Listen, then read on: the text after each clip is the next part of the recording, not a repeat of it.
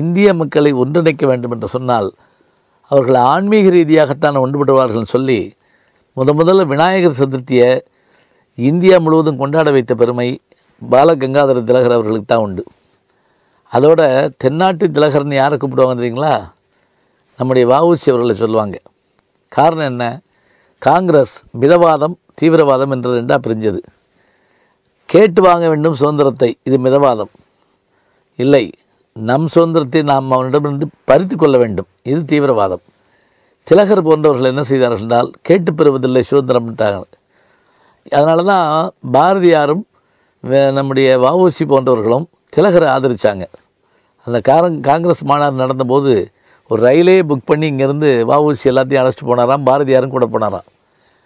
அதே போல் வீர சிவாஜியினுடைய பிறந்த நாளை மராட்டிய நாளாக மே ஒன்று சொல்கிறோம் இல்லைங்களா? அதை வந்து மே ஒன்று நம்ம வந்து தொழிலாளர் தினம்னு சொல்கிறோம் ஆனால் மும்பையில் எப்படி கொண்டாடுவாங்கன்னா அதான் வீர சிவாஜியினுடைய தினம். இந்த வீர சிவாஜியினுடைய தினம்